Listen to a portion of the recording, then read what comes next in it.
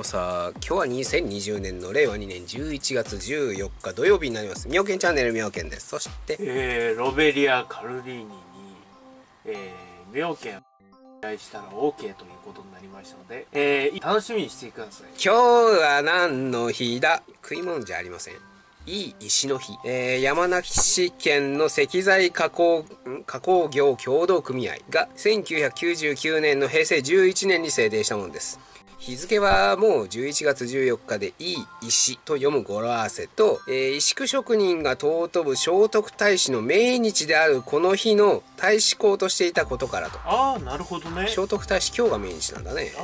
墓石で先祖を供養する文化伝統を守ること。石組みで美しく趣のある庭を築くことかなど石を加工配置する技術の巧みさをアピールする石材加工工業の PR として石についての絵の展覧会やイベントが実施されますと。記念日は一般社団法人日本記念日協会により認定登録されておりますと。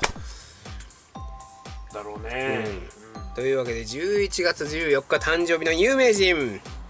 だいぶ前にこれお母さんを出しました。えー、チャールズ皇太子です。ああはいはいはいはい。だいぶ前にお母さん出したね。なるほどね。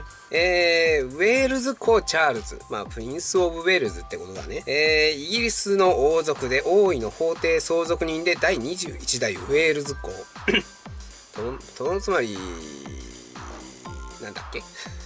いろいろ次の王様ですよっていうのに贈られるこう爵位みたいなもんかなウェールズ公っていうのは。うんまあ、お母さんはもう言わずと知れたエリザベス2世です。今も元気ですね。えー、1952年の2月6日に女王に即位して以来、68年間王位継承順位第1位であり、法定相続人としては歴代、えー、最長記録。うん。現在71歳ぐらいかな。わ。あ。まあうんすごいね。そうだね。もう今の天皇陛下よりも年上になっちゃってるっていうね。ああそういうことね。うん年上だね。ああ確かにね。うんわあ。えっと上皇陛下よりは年下か。ああなるほどね。だよね、うんちなみにうちら皇太子皇太子って言うけど、うん、多分本当は王太子だと思うよ。ああ。だってあっちこうつかないじゃん。まあそうだね。あとなんだ？というわけで今日11月14日誕生日の歴史上人物君が知らなかったら爪安力道山です。ああ力道山ね。はい。いやプロレスの父ですね。日本プロレス界の父って言った方がいいかな、ね。うん、でジャイアント馬場と、うんアントニオ猪木、うんうん、両方とも力道山の弟子なん弟子だね。アントニオ猪木だけは雑に扱われて、うん、ジャイアント馬場には優しく扱われたっていうところから、馬場猪木戦に発展するわけですよね、どちらかというと。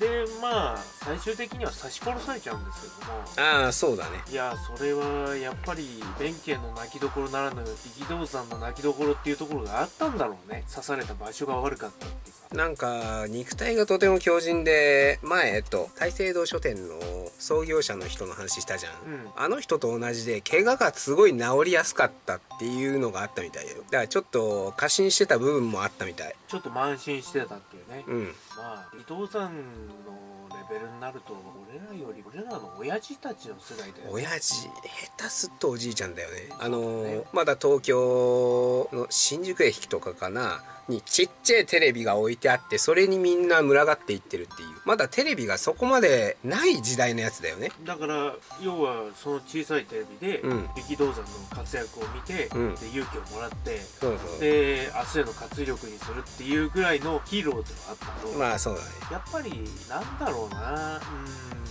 プロレス特有の、うん、あのー、好きな人しか群がらないみたいな感じのところだったりとかするからね、だからというわけで今日11月14日誕生日のアニメ漫画キャラクターちょっと久々かな。境界線上のホライゾンからトゥータンネシンバラ、